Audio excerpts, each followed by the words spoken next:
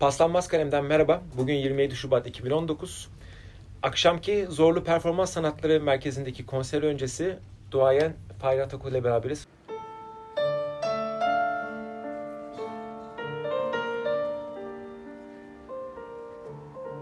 Beraberiz. Fahir Bey, e, röportaj davetimizi kabul ettiğiniz için çok teşekkür ederiz. Ben teşekkür ederim.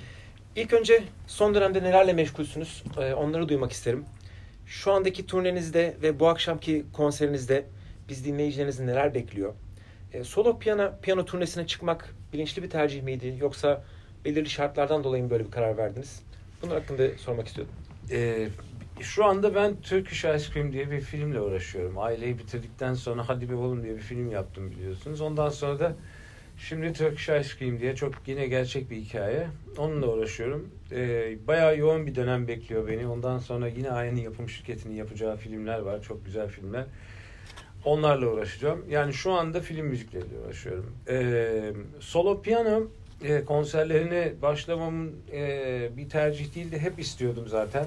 Ama bir zaman e, e, yaratmak söz konusuydu. O, o zaman da bu seneye denk geldi ve başlamak istedim öyle şeyler yapmaya. Bir solo piyano konserlerinde kendi eserlerimi de çalıyorum. Başka e, beğendiğim eserleri de çalıyorum. E, yani popüler müzikten bilinen e, hem ülkemizde hem şeyde dünyada. E, Fakat e, bir, bir hürriyet, bir, bir, bir serbestlik çok güzel bir hürriyet. Yani kendi başınıza, kendi enstrümanınızla sadece kalıp onunla e, yorum yapabilmeniz. E, bir de tabii ben bir klasik müzik piyanisti olmadığım, yani klasik müzikle öğrendim, çaldım falan filan ama klasik müzik piyanist değilim, müzik piyanisti. E, o eserleri de çalmıyorum. Dolayısıyla kendi eserlerimi çaldığım için o hürriyet, o özgürlük her zaman içinde, o doğaçlamalar her zaman içinde oluyor. Ee, zevk alarak yaptığım bir konsept bu. Yani e, geçmişte de yapmıştım fakat turnesini ilk kez Türkiye'de yapıyoruz. Ee, ilerisinde getirmek isterim. Ee, genelde bir iki konuk sanatçı falan oluyordu ama bu turnede olmayacak yani sadece solo piyano olacak. Parça tercihlerinizi nasıl e, belirlediniz? Valla bütün eserlerimi aslında piyanoda e, yani bir şekilde piyanoda ya- e, yazmasam bile hepsini yine de piyanoda çalabiliyorum. Fakat yani e, bütün bir repertuarım çok genişledi benim e, bu Mutlaka. artık e, bu son yani bayağı bir 30 20 30 senede e, film müziklerinden seçiyorum. Belgesel müziklerinden tanınmış olan ki e, müzik olarak tanınmış olan müziklerinden e, o, o bestelerinden seçiyorum. E, biliyorsunuz hem Grammy'ye aday olan bir, bir albümlerim vardı. Bir tanesi İstanbul'un Blue Faces and Places If. O albümlerden yani trio ve e, değişik gruplarla yaptığım müzikleri de yine piyanoyla e, ona aranje edilmiş şekilde çalıyorum. Büyük bir yelpaze yani film müziklerinden caza, Caza cazdan kadar, evet. e, işte dizi müzikleri, dizilerden şeyler bunları hepsini yapmışım çünkü yani tiyatro müziği de yapmışım işte balede ağır roman da yapmışım ondan da örnek var. E, mümkün olduğunca yani o bir buçuk saat şey fazla da uzatmadan e, biraz da tabii e, inşallah sohbetle araya biraz anlatarak besteleri falan böyle güzel bir konser yapmak planlıyorum yani. Mutlaka zaten bildiğimiz kadarıyla konserleriniz sizin yani e, seyirciyle olan iletişiminiz üzerine de tanım, tanınıyor zaten yani. Çok eğleneceğimize eminim. Çok güzel. E, tınılar, armonik altyapılar, ritim ve melodiler diyoruz. Bunlar müziğin yapı taşları. Ve ben her zaman kişisel bir dinleyiciniz olarak sizin her zaman melodilerin peşinde olduğunuzu gözlemledim. Yani bu söylemime katılır mısınız ilk başta? Evet tabii ki. E, ve mesela çağdaşınız İskoç Craig Armstrong çok sevdiğim başka bir müzisyendir. Onun da benzer bir söylemi vardı. O derdi ki yani e, solo piyano konserine çıkan bir piyanist çoğu zaman melodi peşinde olacaktır. Daha çok başka tınaların veya armonik altyapıların değil de e, buna e, buna katılıyor musunuz? Ve Türkiye gibi enstrümantal müziğin e, çok göz önünde olmadığı, çok tercih edilmediği bir ülkede gözü pek bir girişim değil miydi daha bu ta kariyerinizin başından sizce? Yani enstrümantal müziğe yaklaşımınız Ee, sözünü kesmek istemiyorum Mesela ama buyurun buyurun yani e, enstrümantal şimdi e, Türkiye'de her zaman enstrümantal müzik oldu. Fakat tabii bir, bir, bir yani şarkının her zaman bir, bir gücü var. E tabii popüler müzikte şarkı daha ön planda oldu. Daha e, popüler olan şarkılı müzik oldu. Ama her zaman Türkiye'de dinleyicisi vardır enstrümantal müziğin. Biraz da işte doğaçlama cazın olsun, klasiğin olsun. Bence büyük bir challenge değil yani. Bunu çok büyük bir engel görmüyorum ben bunu. Türkiye'de öyle bir şey vardı diye. Çok yani kendimi şanslı da hissediyorum. Tabii şu önümüzde bundan 95'te çıkan o kaset olarak çıkan ilk şeyden itibaren sevdiler müziğimi. Çok e, şükür. Sorumu şu açıdan düşünebilirsiniz ama, ama Fahir Bey. Yani mesela yani, bugün müzik listelerinde kaç tane parça enstrümantal mesela? Yani Ama çok haklısın. Popüler o açıdan, olan popüler evet, açıdan soruyorum. Popüler müzik olması açısından dünyada evet enstrümantal müzik popüler çok değil. Haklısın. Ee, sizin yöneliminiz hep bu yönde olduğu için evet, bu evet. o bana enteresan geliyor. Bir de benim şansım tabii benim yaptığım melodileri yani sadece be, melodi olarak düşündüğüm e, şarkı olarak düşünmediğim şeyler de sonradan şarkı oldu. Yani benim melodilerim evet. sonradan şarkı oldu. Lali, o da enteresan. Evet. evet. O da güzel bir şey yani e, e, oldu. E, bir şarkı yani bir söz koysalar önüme ona e, onu melodilemem benim için zor ama. Hı hı. Daha zor oluyor. Çok iyi anladım. Ki ama çok jingle yaptım yani. Bana söz getirdiler. Ona müzik yazdım. Söze müzik çok yazdım. Ama şarkıda şarkı sözü yazarıyla birlikte çalışmayı tercih ediyorum. Çok iyi anladım. Çok iyi anladım. Ee, bir, bir sonraki sorum da ses tasarımı ile alakalı. Kariyerinizin bir kısmında bildiğim kadarıyla biraz ses tasarımı ile ilgilendiniz. Ee, e, burada yani herhangi bir öyle örnek aldığınız, sizi etkileyen bir sanatçı oldu mu? Bir ses tasarımcısı oldu mu? Ve hala bu alanda faal misiniz? Bunu sormamın nedeni reaksiyon dizisi için yaptığınız e, ses tasarımları çok güzeldi. Çok beğenmiştim. Ya e, Fahir Bey acaba niye bu alanda daha ilerlemiyor diye merak ediyordum. Yani biraz da şey meselesi, imkan meselesi. Böyle işler geldiği zaman e, bunları çalışıyorsunuz. Her zaman da öyle işler gelmiyor. E, fakat yaptığım filmlerde de e, bazı şeyleri, sesleri yani ses tasarımı olarak, sound design olarak yapmaya çalışıyorum ama daha ziyade artık kompozisyona şey yapmak istiyorum. Çünkü o başka, bambaşka bir meslek. Hı hı, Onu yapan hı. insanlara saygı duymak gerekiyor. Onlar hakikaten daha fazla çalışıyorlar ve daha iyi biliyorlar bu işi. Ama benim ilgimi çeken tabii tınları, şeyleri evet bazı dizilerde de e, imkan olduğunca kendim yapmaya çalışıyorum. Çok iyi anladım. Kariyeriniz boyunca sayısız müzisyenle işbirliğiniz oldu. Hatta müzisyenlerin yanında belki yönetmenleri ve belgeselcileri de saymamız gerekiyor. Benim merak ettiğim e, daha çok bunların arasında mesela özellikle birlikte çalışmaktan keyif aldığınız ve veya e, size bir şeyler katan yönetmen, belgeselci veya müzisyen bir işbirliği oldu mu acaba onu merak ediyordum. Ha, e, Can Dündar tabii ki yani Can Dündar'ın e, beraber yaptığım işler bugün hala müziklerini duyuyoruz işte Sarı Zeybek de oydu. Belgeselin yani, önüne geçtiler hatta onlar belki, yani. Evet onlar Yazın. bayağı bir önüne geçtiler. yani çünkü Türkiye yakın tarihini çok iyi anlatan şeylerdi bunlar. E, son zamanlarda Can Ulkay'la çok iyi anlaşıyorum. Çok iyi işler yaptık. Bu aile olsun. Şimdi şu anda yaptığımız e, Turkish Ice Cream.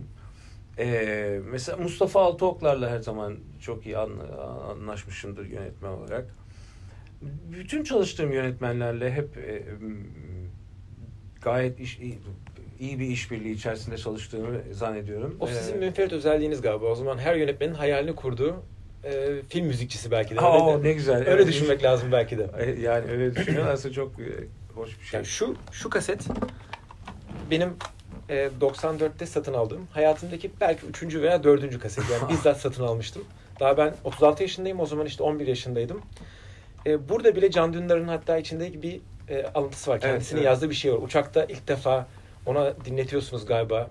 E, ya Demir Kırat'ın ya da yani o, o belgesellerden birini. Sarı Zeybi müzikle yani e, ilk melodisini duyuyor. O anda zaten e, hemen tav oluyor zaten müziklere. Evet, evet. Yani büyük bir ihtimalle yönetmenlerin, belgeselcilerin hep birlikte olmak istediği e, besteci siz oluyorsunuz galiba bu durumda. E, teşekkür ederim. Yani o melodiye biraz önem vermemden işte herhalde. Bilmiyorum. Yani bu tip beğenilerin şeyini analizini yapamazsınız ki nereden nasıl çıkıyor diye. Siz sadece kendi bildiğinizi güzel bulduğunuz şeyi müziği ortaya koyuyorsunuz ve bir bakıyorsunuz ki sizin duygularınıza ortak insanlar çıkıyor seviyor. Peki e, şöyle ama şimdi film müzikçileri değişik şekillerde çalışabiliyor. Kimisi post production'dan sonra daha film bittikten sonra filme dahil olmayı seviyor. Kimisi daha senaryo aşamasında dahil oluyor. Kimisi e, film çekilirken müzikleri besteliyor. Hoparlörlerden e, Ben oyunculara veriyor. Sizde ben her başında senaryodan başlıyorum. Hatta film çekimine de gidiyorum gidebildiğim gidebilirsem. Yani o sahneyi, o şeyleri, e, dekoru falan da görmek. Yani film müzikleri çok güzel. e, başka bir yön, başka bir müzikti. Şey. Ailede nasıl oldu mesela? Ailede nasıl bir e, prosedür izlendi? Ailede tamam yani ilk başta ben hep e, benim şansıma yani bilmiyorum şeyde girebiliyorum e, bu m, senaryo aşamasında bana gönderiyorlar. Ailede de öyle oldu. Ailede de e, ailede zaten bana ilk gönderdikleri zaman hikayeyi ben o kadar etkilenmiştim ki yani hiç böyle bir şeyin farkında değildim. Gerçekte Ve- hikaye. e, evet. Çok etkilenmiştim ve ilk andan itibaren o melodiler çıkmaya başladı falan filan. Yani ama senaryo üzerine çalışıyorum. Senaryodan evet hiçbir görüntü olmadan bazı şeyler çıkartıyorum. Sonra görüntülerle birleştiriyorum. Sonra da tamamen senkron. Fahir Bey bu benim çok enteresan bulduğum bir çalışma stili. Çünkü bana öyle geliyor ki yönetmen de daha sonra sizin müziklerinizden etkilenerek eminim çekimine bir şeyler daha katabiliyor. Yani Değil mi? müziğin Hı. müziğin mutlaka getirdiği bir kurguya bir etkisi, ritme bir etkisi Tabii, mutlaka tabii, oluyor. tabii. O yüzden Her o- ikisinin de. o- evet, o etkileşim benim e, çok hoşuma giden bir şeydir Tabii, yani. Her ikisinde yani bir e, editörün de yaptığı kat ya da önerdiği bir şey falan o zaman tabii. Ve Evet. bir e, Kore gazisi torunuyum ben. Yani o yüzden aile filminin müziklerinin, yani aile filmi müziklerinin filmin etkisi üzerinde çok fazla bir payı olduğunu düşünüyorum. Ne- Yani o yüzden e, yine ellerinize sağlık tekrar bunun teşekkür için. ederim. E, bir sonraki sorum aslında benim röportajımın e, bel kemiğini oluşturuyor. Yani bu benim çok önem verdiğim soru ve mümkün olduğunca uluslararası sanatçılarla konuşmak istediğim, sohbet, sohbetini yapmak istediğim bir konu. Şimdi şöyle girişini yapayım. Caziz dergisi e, ve hatta bir sürü benzeri yayın organı sizin için haklı olarak küresel cazcı gibi bir e, tabir, bir ifade ortaya atmışlardı. Yani sizin müziğinizin dünyaya e, dünyaya ait bir müzik olduğuna işaret eden bir e, sözdü. Bu ifadeyi e, sizce hangi müzikal yaklaşımınızla elde ettiniz kariyeriniz boyunca? Yani e, bunu bu soruyu şöyle de genişletmek istiyorum. Dünyaca dinlenebilmek için Türk müzisyenlerinin sizce ne yapması gerekiyor? Yani bizim e, işte batılı enstrüman, batılı organik enstrümanlarla gidip Doğu nameleri, Anadolu ezgileri mi işlemeleri lazım? Ya Yoksa bir- başka bir şey mi? Yok hiç öyle bir formülü yok bu işin. Tamamen müzik kalpten gelen bir şey. Bakın müziğin buradan çıktığı zaman, o samimiyet olduğu zaman hiçbir zaman coğrafyası önemli değildir. Yani ben bunu 30 senedir Amerika'da, Am- Türkiye dışında yaşıyor olduğumda dan gördüm bunu. Tamamen kalp işidir. Yani sizin e, müziğiniz e, siz bir dinleyici olarak da bunu görmüşsünüzdür. Siz bir beğendiğiniz müziğin aa bu nereli diye ilk sormazsınız. Bu ne güzel müzik dersiniz, ne güzel melodi dersiniz falan. Dolayısıyla coğrafya yani çok önemli değil. Hiç Türk olarak falan bunları hiç düşünmeyelim. Bizim kalbimizden yani bir e, güzel bir müzik geliyorsa ve onu istediğimiz gibi çıkartabiliyorsak o zaman karşı tarafta o samimiyeti buluyor. O samimiyete zaten giriyor ve o müziği seviyor. Çünkü biz eğer onu hesaplı yaparsak, onlar beğensin diye bir takım şeyler yaparsak, işte ülke dünya beğensin, o beğensin, aa biraz ben Türk'üm de şunu koyayım da işte yok ben buradan e, şeyim de. Bunlar o zaman hesaplı oluyor. Hesaplı değil. İçinizden nasıl geliyorsa öyle olması lazım müziğin. Yani bir bir Türk rock and roll da çalabilir, caz da çalabilir, Türk sanat müziği de isterse çalabilir. Ama illa bir insanın coğrafyasının şu olmasından dolayı o müzikte öyle olması gerekmiyor hiçbir zaman. Kalpten gelecek. Ülkemizdeki müzisyenler de aynı şekilde e, yeni yetişenler olsun aynı şekilde aynı şekilde sadece sadece kalpten çıkardığımız müzik nasıl bir müzik ve samimiyetimiz var mı? Bizim tüyle kendi tüylerinizi ürpertiyor mu? O zaman tamam. Bırakın insanlar e, şey yapsın. Bir de tabii ki dünya müzisyenleriyle bir araya gelmek önemli. Yani bulunduğumuz yerde müziğimizi yapayım, bütün dünya dinlesin diye bir şey yok. Gitmeniz ve bir birlikte o bütün dünyayı yani mümkün olduğunca seyahat etmeniz, dünya müzisyenlerle bir araya gelmeniz ve müziklerinizi öyle paylaşmanız lazım. Benim mesela bana küresel müzik denmesinde gider. Ben dünya müzisyenleriyle çalışmayı hep sevdim. Onlardan alışveriş yapmayı, yani onlara hem benim müziğimi vermeyi hem de onlardan onun müziklerini almayı sevdim. O alışveriş bizi bir yere getirdi. Peki Bey ama Kendileri siz- onlar için de aynı şekilde yani bir Kübalı drummer için bir Amerikalı e, trompetçiyle çalması veya bir onun bir yani herkes için. sizin mesela diyelim ki çalıştığınız bir doğulu bir perküsyonist, Hı. e, uzak doğulu bir perküsyonist diyelim. O size kendi ülkesinden, kendi kültüründen bir şey getirdiği zaman daha çekici gelmiyor mu ama? Yani mesela Tabii tabii. Okey ben de onu diyorum. Getirsin. Aha. Ama İş- o içinden olduğu çıkar. sürece, Tabii anladım. içten ve samimi olduğu sürece getirsin. Ama bakıyorsunuz ki kendi müziğini yapmak için illa ben buradanım diye zorlama bir takım şeyler koyuyorlar. O zorlamalar kendi o zaman samimiyet ortadan çıkıyor. O yüzden başarılı olamıyoruz. Yani e, ama e, ke- şu anda e, Türk olarak da çok başarılı müzisyenlerimiz var. O, o, o şeyleri bulan. Hem yorumcu hem de besteciler de var. Yani ama e, bunun bu işin formülü yok yani. Bunu sormamın nedeni acaba biz dünyaca tanınmak için e, Batı'nın o bize bize yönelik olan oryantalist bakışında mı e, ne derler bakış tarzında bir müzik yapmamız mı bekleniyor acaba bizden? Yani mesela sizin kariyerinize bakıyorum. E, siz yeri geldiği zaman Anadolu ezgilerinde e, müziğinize yedirebilmişsiniz. Oradaki gamlardan bir şeyler devşirebilmişsiniz. Ama tamamen içerikle bağlantılı olarak. Yani samimi dem- demin söylediğiniz sözcük var ya samimi olarak yaptım diye içte, içimden geldiği Evet. için. O olduğu zaman galiba yurt dışında da bu ses getirebiliyor. Anlaşılabiliyor. Aynen. Aa, o, o toprakların müziğini yapıyor ama evrensel bir şey ortaya çıkarmış deniyor büyük bir ihtimalle Fahri Atakoğlu için. Şimdi benim sorum mesela e, şununla alaka, alakalıydı daha çok. Barış Manço bunu söylemişti. Biz Doğu ve Batı'nın işte köprüsü durumunda olduğumuz için bu bize bir aslında şey getirmesi lazım diyordu. Bir ayrıcalık, bu bir zenginliktir, bu bir hazinedir Elbette diyordu mesela. Evet. Siz de bu şekilde mi düşünüyordunuz diye merak ediyordum. E, tabii yoksa bir- yoksa bu acaba bizde bir şizofrenik bir şey yaratıyor mu? Yani iki başlılık. Doğu ile Batı arasında kaldım. Ne ona yaranabildim, ne ona yaranabildim gibi bir durum mu acaba diye. Bu konudaki fikrinizi merak ediyorum. öyle hem öyle doğru aslında her ikisinde de haklısın ama e, şimdi bir Hristiyan çocuk doğduğu zaman polifoniye doğuyor. Evet. Baptist Batı harmonik sistemine Evet. doğuyor. Şimdi biz tek sesliye doğuyoruz ama Batı harmoni sistemini de duyuyoruz, an- an- anlıyoruz, biliyoruz, duyuyoruz. Biz de o, o yüzden daha avantajlıyız. Yani Barış Manço'nun sevgili Barış abinin de diyor odur yani. Biz tabii ki avantajlıyız o konuda. Çünkü orayı daha onlardan daha fazla öğrenmişiz. Şimdi e, fakat e, eğer o doğunun getirdiği mesela ben kendi yaşamımdan örnek vereyim. Ben e, İstanbul'da doğdum, orada büyüdüm. Gerçi çok genç yaşta Londra'ya gittim, ondan sonra da Amerika'ya gittim ama o e, her zaman pencereyi açtığımda ezan sesi duydum, radyoyu açtığımda türkü duydum. Şimdi bunların bir içinde oluşturduğu bir şey var. Her ne kadar e, onu bunu çalıştıysam, caz sevdiysem, onu yaptıysam da bir besteyi yaparken melodi çıkıyor. Fakat kendi ister istemez bir bir yerinde o içinizde küçükken, o yetişirken duyduğunuz o melodiler, o coğrafyanızın içinde duyduğunuz o sesler, tınılar ister istemez çıkabil- çıkabiliyor. Ve yani Ha. parmaklarınıza mı gidiyor yani o, o tabii ona tabii gidiyor. yani e, duyuyorsunuz işte. Yani çünkü ben beni beni mesela duyduğum bir ezan sesi ağlatabilir. Bir Hristiyanı o ezan sesi o kadar etki etmeyebilir.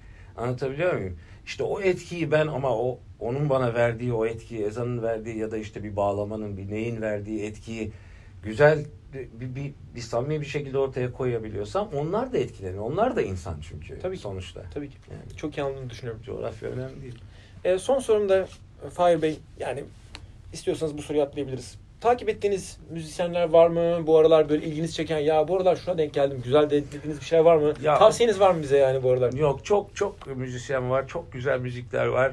Hele bu çağda yani bir, işte Apple Music'ti, bir şeydi, bir Spotify'dı falan filan. Yani insanlar sürekli takip etsin. Çok e, güzel müzikler çıkıyor.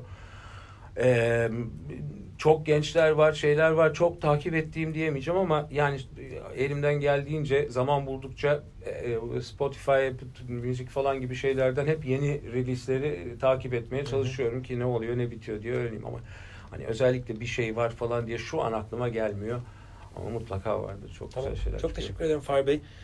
Ben Emre Karacaoğlu, Fahir Atakoğlu'yla beraberdik. E, umarım sorularımızdan keyif aldınız Fahir Bey. Teşekkürler. çok teşekkür ederiz. Bizi onurlandırdınız. Akşamki konser için de sabırsızlanıyoruz. Çok sağ olun. Teşekkür.